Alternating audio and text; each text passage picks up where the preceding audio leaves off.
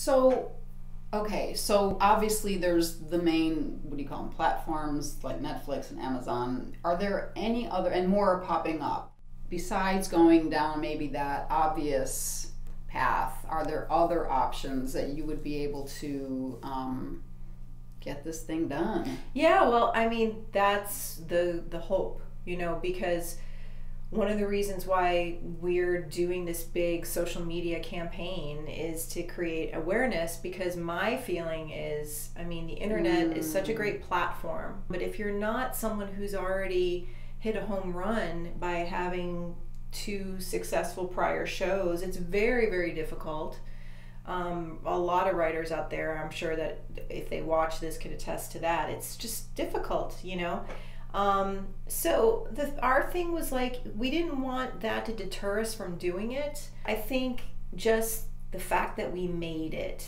and it came out as good as it did. We ended up getting an entire television station to give us their entire building for four days to shoot so that it was like our television building just like like on 30 rock like we had our own set with a control room and a producer's booth and everything. That was like yeah, a amazing. big gold mine. I can't believe that we landed that. That was amazing. Yeah. That and so when the, and when that happened, which was still fairly fairly early on in the process, it was like all the stars were aligning, mm. and I just felt like like we got to do this thing. I do think that sometimes you have to you have to follow your heart, and you have to you have to be a doer. You can't wait for the opportunity to come to you. Um, and what's beautiful about the internet, one of the great things about it, because there's, you know, lots of pluses and minuses to the internet, but one of the great things is that it's free exposure.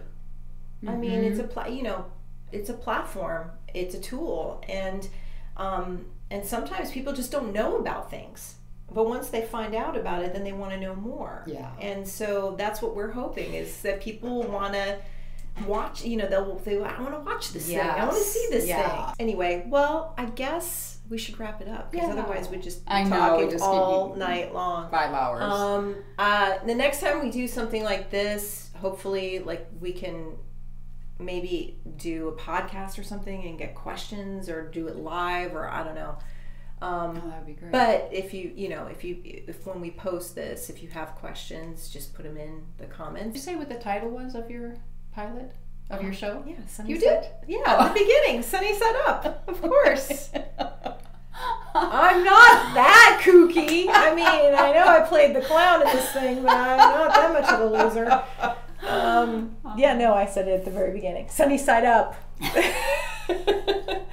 uh, anyway, thanks so much for listening. We hope we, we didn't bore you guys. Um, when she and I get together, we can go all the time. But this was really fun. It was really fun, oh and I, I, mean, I'm like excited to share about the show because there's so many people that were involved in it, and everyone just did such a great job, and mm. I just feel like it deserves to be seen yeah. and talked about. Yeah. So thanks for joining me tonight. Thanks for having me. And thanks you guys and we'll talk to you soon.